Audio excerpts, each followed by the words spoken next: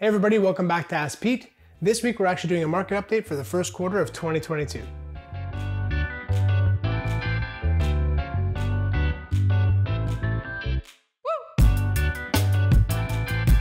We're starting to see some shifts taking place in our local market, so I wanted to share an update on what's been happening since the start of the year. As you might expect, the number of homes on the market heading into the holiday season in December goes down significantly. And this is because everyone kind of shifts their focus to having some quiet time with friends and family, and many people decide to put their real estate needs on pause. And this is actually really clear when you look at Google searches for real estate topics, it really drops in December. And you also notice in this graph just how quickly it comes roaring back in January. So even though we were still living through some lockdown measures, people on the hunt for their next home were anxious to get their search back underway in the new year. This meant when that first home hit the market, there were a lot of motivated buyers who jumped on the opportunity. A good example is actually one of the first homes that hit the market in St. Lazare. They received at least 20 offers and had about 75 visits. After that, what we saw is that each subsequent home that hit the market kind of had a little bit less and less.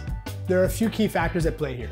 First, as all these homes continue to get sold, it represents one less buyer each time. And secondly, Recent interest rate hikes have an impact on affordability for buyers as well. In other words, higher interest rates means higher monthly payments for the same price home, which reduces the number of potential buyers at each price point. And third, with the rate of inflation driving up the cost of many regular living expenses, many buyers are considering holding off on their purchase plans until there's more certainty on just how much of an impact this is going to have. With all this said, we are still seeing what can only be defined as a seller's market. Homes are still receiving multiple offers and prices are continuing to climb.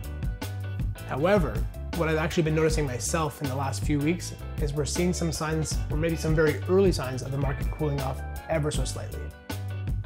Let's now take a look at some of the numbers showing what has happened in our market since the start of 2022.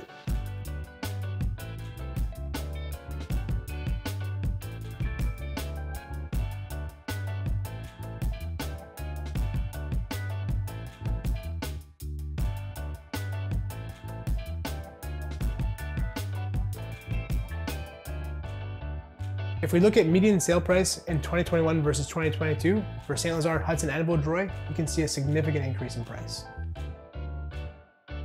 Thank you so much for joining us for our market update. As usual, if you have any more questions about the market, you'd like to know more about some of the statistics, what's happening in your area, you can contact me anytime.